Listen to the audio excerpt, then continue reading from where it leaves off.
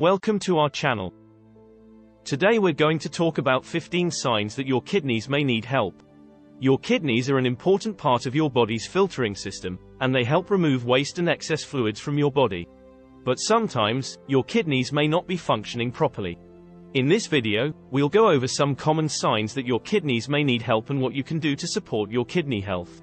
Disclaimer, this video is for informational purposes only and is not intended to be a substitute for professional medical advice, diagnosis, or treatment. Always seek the advice of your physician or other qualified healthcare provider with any questions.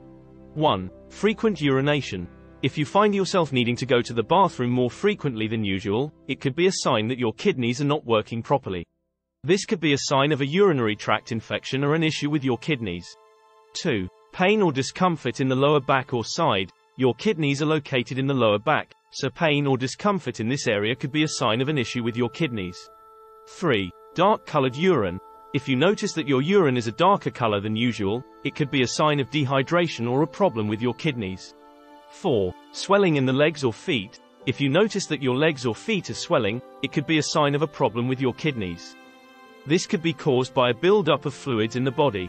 5. Fatigue or weakness. If you're feeling more tired or weaker than usual, it could be a sign that your kidneys are not working properly. This could be caused by a buildup of waste products in the body. 6. Foamy or bubbly urine. If you notice that your urine is foamy or bubbly, it could be a sign of protein in the urine, which is a common sign of kidney disease. 7. Skin rashes or itching. If you're experiencing skin rashes or itching, it could be a sign of a problem with your kidneys. 8. Nausea or vomiting. If you're experiencing nausea or vomiting, it could be a sign of a problem with your kidneys. 9. Bad breath. If you're experiencing bad breath, it could be a sign of a problem with your kidneys.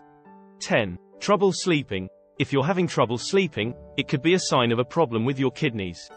11. Loss of appetite. If you're experiencing a loss of appetite, it could be a sign of a problem with your kidneys. 12. Muscle cramps. If you're experiencing muscle cramps, it could be a sign of a problem with your kidneys. 13. Headaches. If you're experiencing headaches, it could be a sign of a problem with your kidneys. 14. Metallic taste in mouth. If you're experiencing a metallic taste in your mouth, it could be a sign of a problem with your kidneys.